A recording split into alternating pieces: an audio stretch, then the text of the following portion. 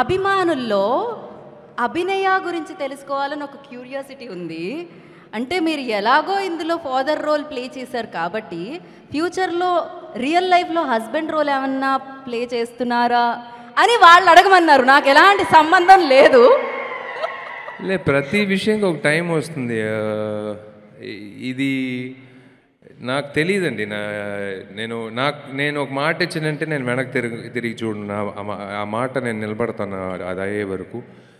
మళ్ళీ చెప్తున్నాను south Indian artist association building ఆ బిల్డింగ్ వచ్చిన తర్వాత నేను ఫస్ట్ ముహూర్తంలో నా పెళ్ళి జరుగుతుంది.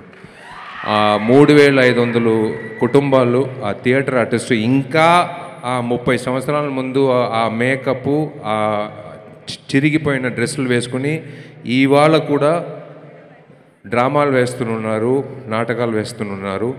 వాళ్ళు బాగుండాలి వాళ్ళ కుటుంబాలు బాగుండాలనే కోరికతో మా టీము మేము ఆ బిల్డింగ్ కట్టించి వాళ్ళకి పెన్షన్ ఇప్పించి వాళ్ళ వాళ్ళ లైఫ్ స్టైల్ కొంచెం వాళ్ళకి మెడికల్ అసిస్టెన్స్ కానీ ఇన్సూరెన్స్ కానీ వాళ్ళకి ఆ మేకప్ మెటీరియల్ కానీ బట్టలు కానీ వాళ్ళ కోసమే మేము ప్రతిరోజు ప్రయత్నం చేస్తున్నాం. దానికి నేను నా పెళ్ళి కోసం వే వే చేసేందులో నాకేం అభ్యంతరం లేదు. సో ఆ బిల్డింగ్ మీరు తప్పకుండా మిమ్మల్ని అందరూ పిలుస్తాను. తప్పకుండా నేను పెళ్ళి కూడా నేను చెప్తాను. ఎప్పుడు నేను చెప్తాను మీకు మీరు మీరు మీరు డెఫినెట్గా వస్తారు.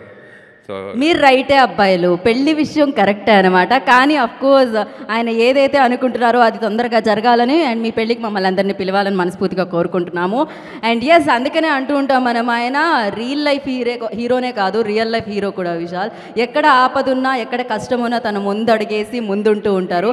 అండ్ ఎంతోమంది ఆశీర్వాదాలు ఎంతోమంది బ్లెస్సింగ్స్ మీతో ఉన్నాయి. అండ్ లాటీ కూడా సూపర్ డూపర్ హిట్గా మీ లిస్ట్లో జాయిన్ అయిపోవాలని మనస్ఫూర్తిగా కోరుకున్నాము. Thank you Vishal thank you so much